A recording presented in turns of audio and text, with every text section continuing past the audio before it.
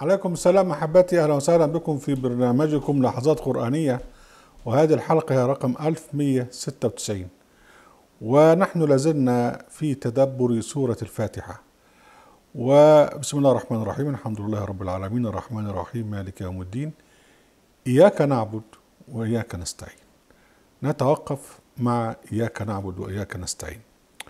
لكن نشير يعني قبلها إلى يعني الآية السابقة مالك يوم الدين.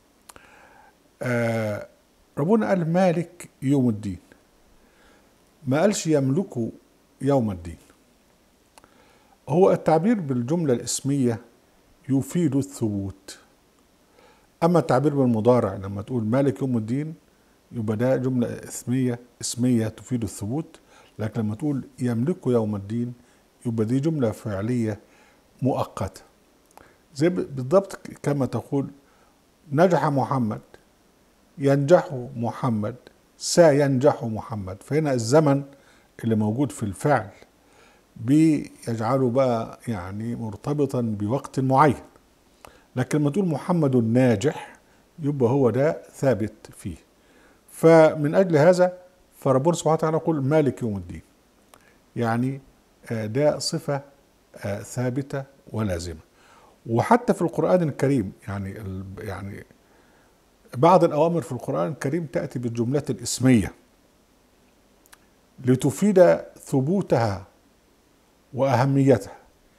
يعني ربنا سبحانه وتعالى لما يقول يا أيها الناس حجوا إلى البيت الحرام. وإنما قال ولله على الناس حج البيت الحرام. تعبير الجملة الإسمية هنا يفيد يعني تمام الإلزام. طبعا من استطاع عليه سبيل. ونفس الحكاية في الشورى والشورى فريضة إسلامية منسية. ربنا سبحانه وتعالى يقول آه وأمرهم شورى بينهم. يعني لما يقول أقيموا الشورى لكن وأمرهم شورى بينهم والجملة الإسمية هنا تفيد آه الثبوت والإلزام. آه وفي في سورة الشورى أيضا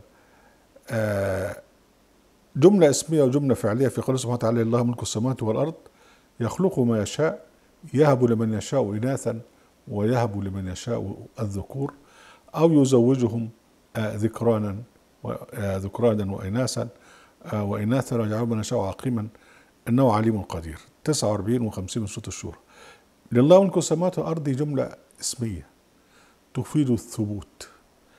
يخلق ما يشاء هنا جملة فعلية وطبعا مرتبطة بزمن يعني يخلق ما يشاء يهب لمن يشاء إناثا ويهب لمن يشاء الذكور أو يزوجهم يعني خلوهم أزواج يعني أولاد وبنات يعني. آه يعني ديت آه يعني أحببنا أن نبدأ بها قبل أن ندخل في إياك نعبد وإياك نستعين. ليه؟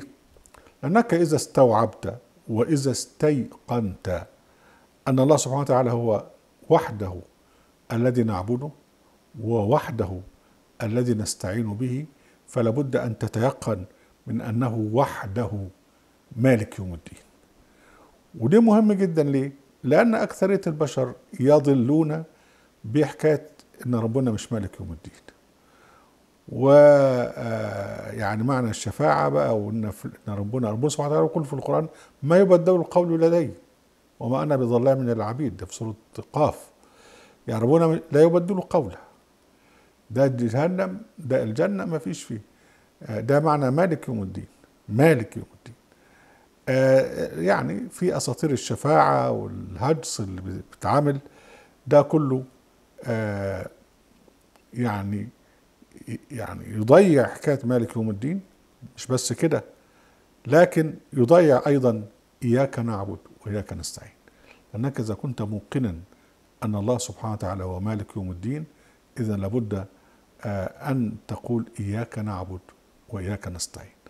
ومن أسف أن معظم الذين يقولون إياك نعبد وإياك نستعين لا يعنونها يقولون هذا بألسنتهم ولكن قلوبهم معلقة بتقديس البشر والحجر. طيب نبدأ في إياك. إياك ضمير منفصل. يعني عندنا الضمائر بتنقسم أول في حاجة ضمير مستتر زي مثلا الله نعبده نعبده فعل مضارع والفاعل ضمير مستتر تقديره نحن. آه في آه ضمير مش مش مستتر ضمير متصل زي نعبدك. آه طبعا عندنا ضمائر فاعل وضمائر مفعول إلى آخره يعني. في آه ضمير آه متصل في ضمير منفصل يعني نعبد إياك. لكن لما تيجي تقول إياك نعبد هنا بقى دخلنا في حاجة تانية اسمها أسلوب القصر يعني نعبدك وحدك. فحين نقول إياك نعبد يعني نعبدك جل وعلا سبحانه وتعالى وحدك. وإياك نستعين يعني نستعين بك وحدك. وأسلوب القصر في القرآن يعني في اللسان العربي متنوع. ممكن آتي. إنما إنما المؤمنون الذين ذكر الله وجلت قلوبهم ومن الممكن أن يأتي بالتقديم والتأخير ومن الممكن أن يأتي بالنفي والاستثناء. ف بالتقديم والتأخير هو اللي موجود هنا. إياك نعبد. فقدم إياك اللي هو ضمير منفصل وهو مفعول به جاء قدم مقدم إياك نعبد وبعد كده ما فيش فيه إيه؟ ما فيش فيه لا نعبد غيرك. إياك نستعين لا نستعين بغيرك. قد يأتي بالنفي والاستثناء زي لا إله إلا الله. فده نفي واستثناء. لا إله إلا الله. قل قل يعلم في السماوات والأرض الغيب إلا الله. آه وعنده مفاتيح الغيب لا يعلمها إلا هو. لكن إحنا حن يعني آه هنتوقف مع إياك وإياه. آه في بالتقديم والتأخير في قوله سبحانه وتعالى يا الذين آمنوا كلوا من طيبات ما رزقناكم واشكروا لله إن كنتم إياه تعبدون. مش قال إن كنتم تعبدونه كنتم إياه وحده تعبدون. وفي التقديم والتأخير في قوله سبحانه وتعالى دي, دي, دي يعني دي 172 سورة البقرة في 37 من سورة فصلت ومن آياته الليل والنهار والشمس والقمر. لا تسجدوا لا تسجدوا للشمس ولا للقمر واسجدوا لله الذي خلقهن إن كنتم إياه تعبدون. ما قالش إن كنتم تعبدونه كنتم إياه وحده تعبدون. وبرضه سوره النحل إيه 114 فكل ما رزقكم الله حلالا طيبا واشكروا نعمه الله. إن كنتم إياه تعبدون لا 114 في سورة الأنعام. قل أرأيتكم إن أتاكم عذاب الله واتتكم الساعة أغير الله أغير الله. ده برضه أسلوب قصر. تدعون إن كنتم صادقين. بل إياه تدعون مش بل تدعونه. فهنا تقديم إياه زي تقديم إياك بما يفيد القصر طبعا بالنفي والاستثناء كثيرة في القرآن الكريم وقضى ربك ألا تعبدوا إلا إياه. وبالنسبة لحكاية يعني إياه طبعا بس هنا إياه هنا ضمير غير ما أنت ما تخاطب ربنا مباشرة وتقول له إياك نعبد لأنك أنت في الصلاة. فالصلاة هي خطاب لربك سبحانه وتعالى. في سورة الإسراء أيضا وإذا مسكم ضر في البحر ضل من تدعون إلا إياه. هنا بقى بالنفي والاستثناء. بالتالي بقى أن العبادة إلا إياك نعبد والاستعانة أو الدعاء وإياك نستعين لا تكون في قلب المؤمن إلا لله جل وعلا وحده. هي المشكلة في حكاية وحده دي يا إخوان. لأن في واحد بيدعو ربنا وبيدعو الأولياء وبيدعو محمد وبيدعو فلان وعلان إلى آخره يدعو مخلوقات يستجير بمخلوقات آه ده لا. المؤمن هو الذي يخلص لله جل وعلا في العبادة. وده اللي ربنا قاله لمحمد عليه السلام. قل الله آه أعبد مخلصا له ديني الآية 14 وفي سورة يوسف إن الحكم الله أمر ألا تعبدوا إلا إياه. طبعا إحنا يعني ده إياه إلا إياه. وفي سورة غافر فادعوا الله مخلصين له الدين ولو كره الكافرون. آه وفي سورة الأنعام قل من ينجيكم من ظلمات البر والبحر تدعونه تضرعا وخفية. لأن هنا بقى هنخش بقى في حكاية آه الدعاء لما يكون مخلص قوي. لابد أن يكون بتضرع. ما أنت بتدعي بقى يعني بتدعي محتاج تستغيث. فيأتي بقى حكاية آه التضرع. وده في الآية 53 قل من ينجيكم من ظلمات البر والبحر تدعونه تضرعا وخفية. يعني بتتضرع بقلبك وبلسانك وبصوت خفي. واللي بيحصل بقى ربنا سبحانه وتعالى بيقول واذكر ربك في نفسك تضرعا وخيفة. وزكريا عليه السلام لما دعا ربه ذكر رحمة ربك عبده زكريا إذ نادى ربه نداء خفيا. آه اللي بيحصل حاجة تانية. اللي بيحصل الناس الذين اتخذوا دينهم لهوا ولعبا ربنا قال وذر الذين اتخذوا دينهم لعبا ولهوا دي الآية 70 ونادى أصحاب النار أصحاب الجنة أن نفيضوا علينا الماء وما رزقهم الله.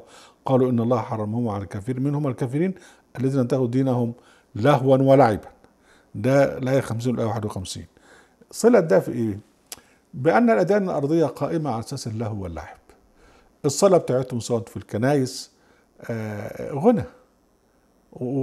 وطبعا المحمديين عندهم بقى التواشيح وعندهم الإنشاد الديني وعندهم التغني بالقرآن يعني اتخذوا دينهم لهوا ولعبا. ويجي في الدعاء اللي هو المفروض أن تدعو الله سبحانه وتعالى وأنت تتضرع وأنت خاشع يوم يرقصوا لاجل النبي لاجل النبي الصلاة على النبي وكل بقى إيه وبعدين بيبتلوهم إن ده حاجة حلوة قوي يعني يقول لك الغناء الديني لا الغناء الديني ده كفر. كفر كاف ر رن ها؟ فليه؟ لأن هو استهزاء بربنا سبحانه وتعالى. وإحنا قلنا الكلام ده كتير بس برضو لا نمل من تكراره. يعني انت لما تكون عايز حاجة من الرئيس بتاعك في الشغل مش هتخش عليه وترقص له أو تغني له. لكن هتخش بقى بأدب وتخبط الباب وسعادتك وجنابك إلى آخره.